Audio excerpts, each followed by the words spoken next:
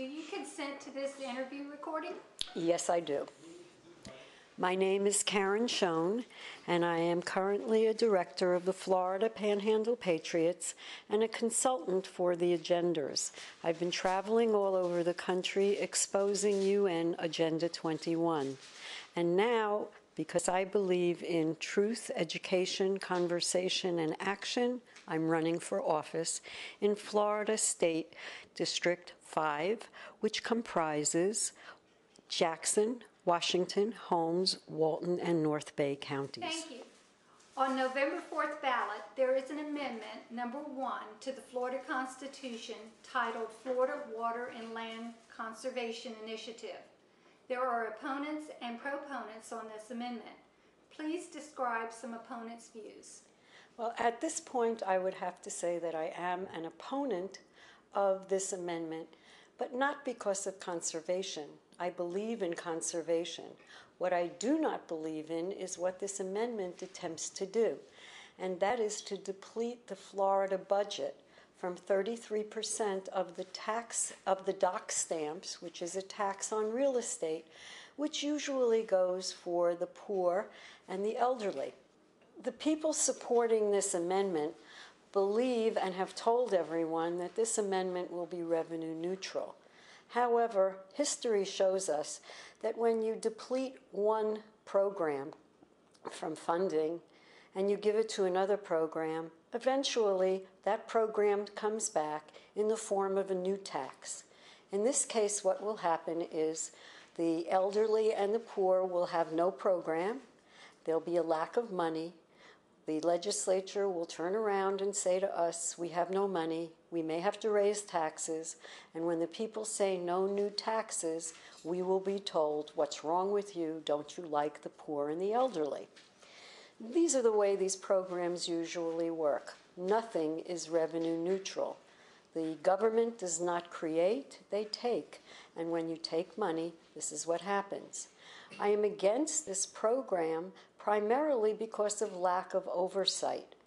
When an item becomes a, um, an amendment on the Constitution, it happens automatically. And when you automatically take that amount of money and you give it to groups that are conservation groups and you have no oversight, they begin to feel powerful and turn around and will dictate to us how we can use our private property. They'll do things like a puddle becomes wetlands, a bird becomes an endangered species. And soon after that, individuals will lose their private property and their water rights. Our country was founded on our ability to accumulate wealth by ownership and land ownership is one of the greatest accumulations of wealth. It enables us to leverage land, accumulate money, and use that money for any type of business, recreation, family, whatever we desire. But it does allow us to accumulate wealth. And that was the goal of our founding fathers, for they believed that innovation and creation comes when wealth is accumulated. This amendment will strip us of that ability. In addition to that, as land comes off the tax rolls, which it will, because when land goes into conservation, it is no longer taxable and cannot be developed for future use and future taxation. What happens to our state and to our local communities? Well, as I've been traveling around the district, I have not met any commissioner who has said to me, gee, Karen, if we lose that land and that $10,000 tax base, we're going to be lowering our taxes. It doesn't happen that way. What they will do is say, we've lost that revenue stream, and therefore your taxes will go up. The other problem that I have is the lack of oversight. This is a major issue and I will repeat it over and over again. Whenever we give a large pocket of money to a group of individuals without oversight, we wind up in a deficit. Now, these groups, if you look at them closely and you Google the supporters and you Google in, for example, the Sierra Club and the United Nations, you'll find that they're all connected. Well, what does the United Nations think about private land?